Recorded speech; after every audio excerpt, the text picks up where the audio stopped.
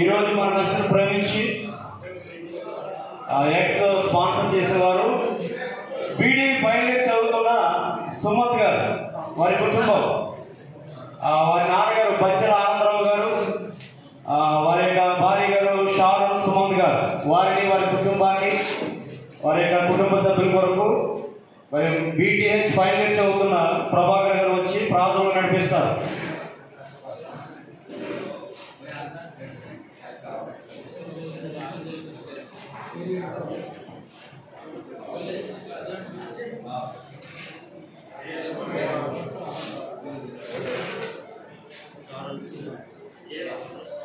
ప్రార్థించుకుందాం.